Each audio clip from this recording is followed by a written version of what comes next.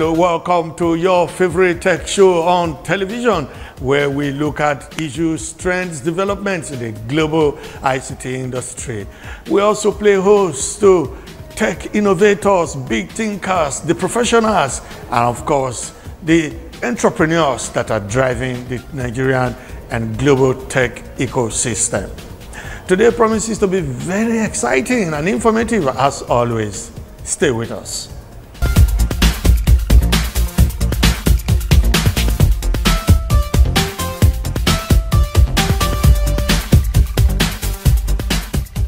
You're all watching Africa's numero uno tech show on television with Don Pedro Aganbi. When we come back from this quick break, you'll meet our tech personality of the week.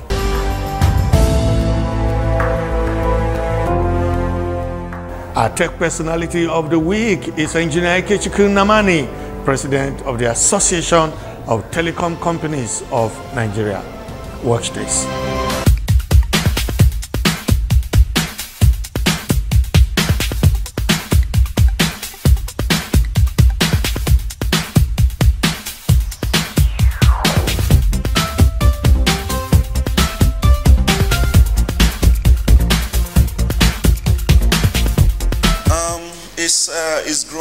Over the last few years. It's, uh, one of the most uh, advancing uh, sector of the ICT. Um, it's made the life easier for everybody. Uh, introduce uh, uh, alternative options to the traditional banking system and mode of uh, payment that we know. And it has also been in line with the uh, current advancements in uh, technology in terms of uh, user services, convergence of uh, both uh, traditional systems of communication and e-commerce. So it, it has become very key and important.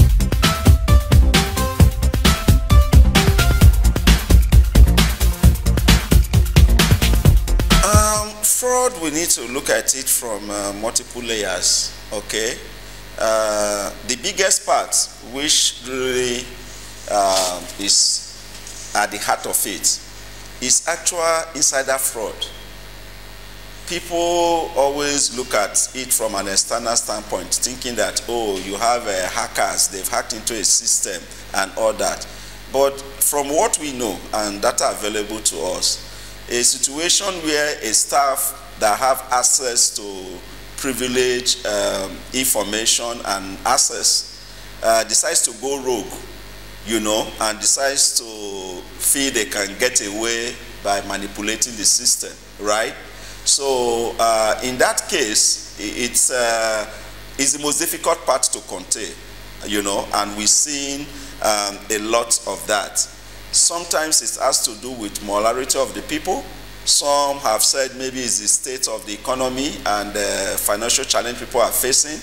Uh, but at the end of the day, you know, um, when specific people are given rights that gives them privileged access and they decide to betray the institution that they work for, then the only way around it is to have policies in place to quickly detect it and also to mitigate it as much as possible. The external one, uh, a lot of effort has been put in to secure the networks, putting the right uh, policies, um, you know, to ensure that uh, external attack is mitigated. Then you have the consumer side, which is purely a case of uh, people not having the right uh, cyber habits. Uh, you know, people sometimes falling prey to greed, where they feel they can make quick money that they shouldn't be making, and then fall prey. You know, somebody have sent you some message and uh, tells you you're going to make some quick money that naturally you know you've not earned. And out of greed, you decide to fall in and expose yourself and then you know you are defrauded. So we have the consumer side, which is a whole new sector that uh, needs more enlightenment, educating people on the best cyber habits and when to detect a fraud before it happens so you don't fall victim.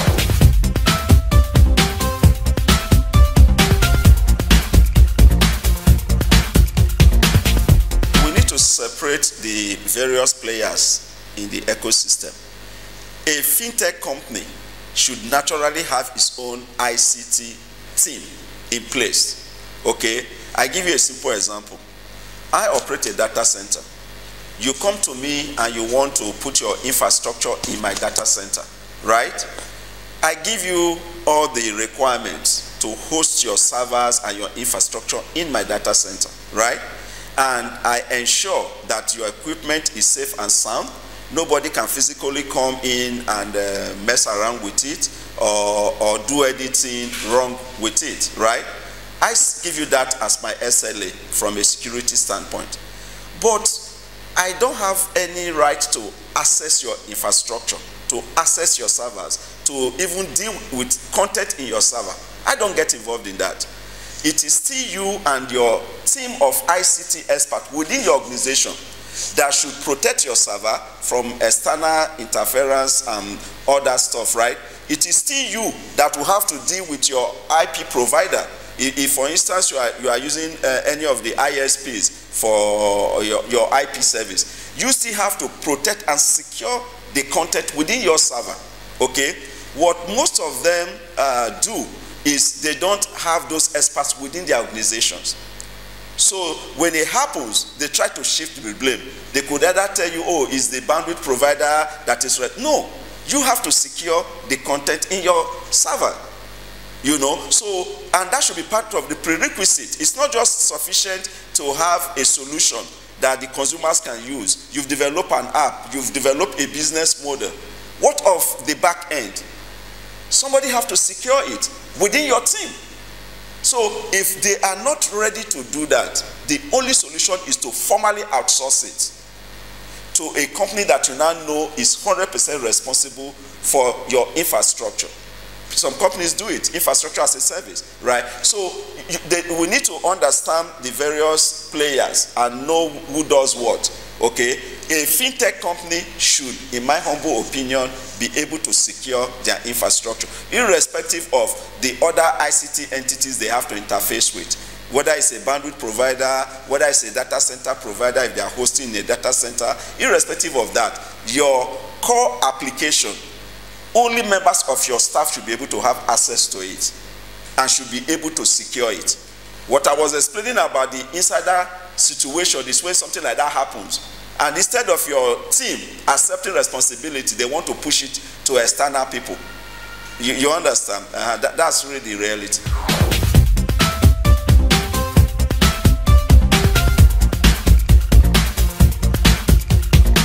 I give you simple examples. Uh, again, let's separate the various uh, infrastructure that makes this to happen, right? You have the app, you have the software, you have, that's what separates one fintech company from the other.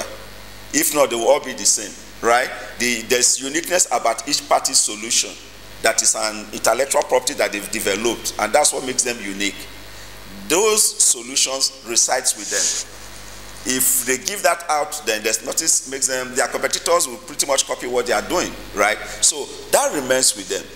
And the uniqueness of it is that they take that and they then now put it in servers to be able to make people have access to it. Okay? The management of that server should also remain with them. But you now need other members of the ICT ecosystem. A simple example. If I'm an MTN customer and I'm using my MTN phone to access a financial service that a financial uh, fintech company is offering. Suddenly, you notice that there have to be an interaction between MTN, being that the subscriber is using an MTN uh, network to be able to access that service, right? So on one aspect, I'm seeing myself as an MTN subscriber. On the other aspect, I suddenly move to a fintech customer, still using my phone, which is provided, the network on it is provided by MTN. You get, but what you find out is that once it goes from MTN, all MTN is giving me is access to that content that is residing somewhere that MTN does not control, right? It is not the responsibility of the person that controls that platform to secure it to ensure that if I, as the user, do everything right, that I'm not defrauded. As I've said also, users need to also be cyber aware that I'm not the one exposing myself to be defrauded. I have to also do my role as a consumer to ensure that I, I protect my, my pin, I protect my app. I, I you know, I, I don't, something doesn't show up and I download just for the heck of it. You, you follow. So beyond that part, the telcos, the role they literally play most times is just providing access. It's like connecting, connecting you, the user, to the fintech platform, wherever it is located. There have to be some level of security. There are roles that needs to be played. So when parties engage, this is when these roles are defined. Where does my stop and yours? Where do we handshake? Okay, I have to secure it until it gets to you. Once it gets to you, you are responsible to secure it. Okay, um, back to the user. So it, it's it's um, it's a relationship that all parties must work together. But what I'm trying to get away from is this passing of blame somebody trying to say, no, the fault is from this entity. No. At the end of the day, if you go and look, yes, telcos may have some roles to play that is defined. Um, Soviet, they have, um, they have become guilty of uh, not playing their role very well in the area of security, right?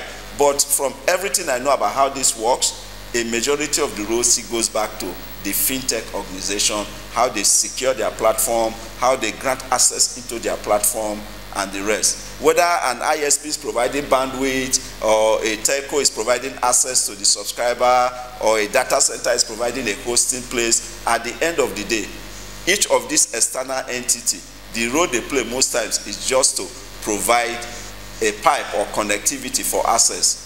The core of the infrastructure where the transaction actually takes place still resides within the fintech network.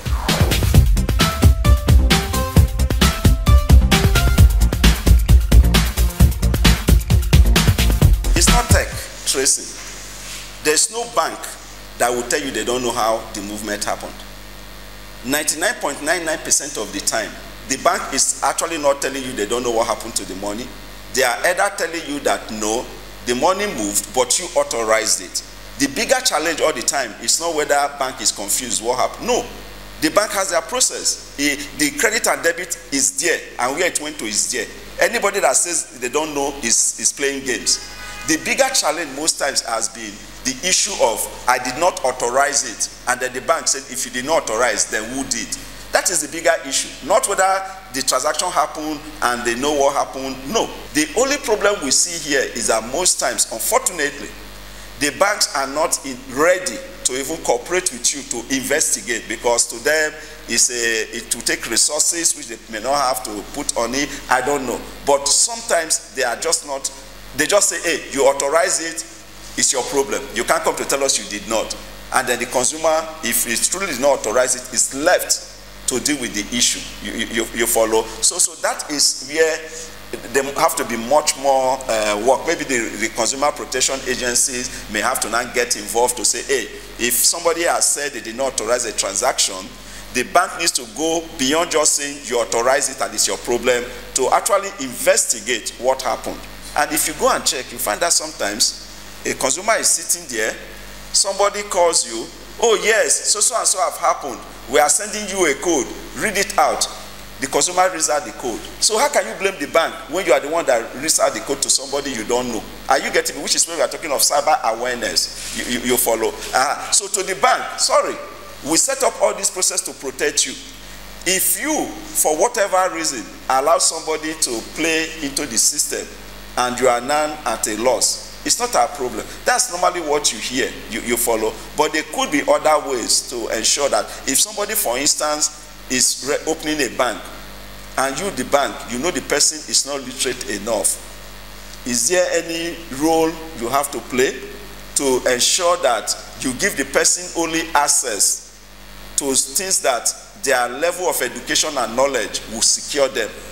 If, why would you give somebody access to app when you know that the person is not literate enough to even use the app and you just allow them to use it then they are defrauded you, you follow me uh-huh. so that differentiation of uh, services available to customers based on their level of literacy and knowledge and what can protect them maybe the banks need to start looking at that beyond just we made everything available to you. Use it. If you run into trouble, sorry. As long as we, we are protected, we are fine. You, you follow. Uh, and we've had cases where, based on technology, things go wrong. Yesterday, for instance, I, uh, I did a transaction.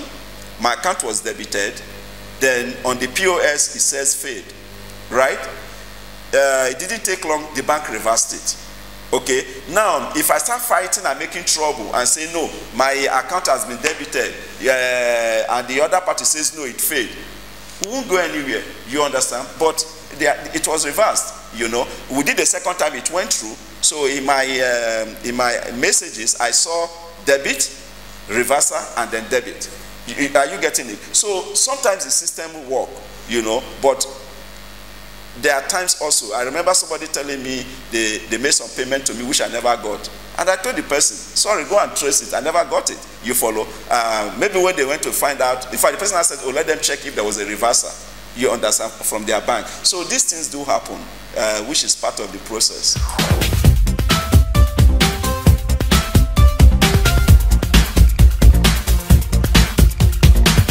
as you know, the beauty of ATCON, being that it's uh, the umbrella association that has up to nine various classes, including FinTech. FinTech is a subclass within ATCON. The telcos is a subclass within ATCON. So the beauty of ATCON is that convergence of te various technologies that's where we bring people together. We bring the fintech, all these people together. So some of these things we are discussing, those are things we discuss when we have our sections, where the telco guys are discussing with the fintech. Some of these issues are put on the table, and we find ways around it. That, in fact, what you just asked is actually the reason why ATCON exists, to be able to address some of this by bringing various people and classes of service under the same umbrella, so that we can be able to make progress. And we are doing a lot of that. But it's just that these are not things you put on the press or it's in the public. These are all done when people are sitting down in a round table. Thank you. I appreciate. Wow, that was Engineer Ikechukwu Nnamani, President of the Association of Telecommunications Companies of Nigeria. I'm afraid that's our time will allow us this week on this highly informative and educative package of your program. For comment and observation, please reach us on the numbers and email now showing on your screen. On behalf of the entire production crew, thanks for watching. Same time, same station. I'll be back next time. I'll see you.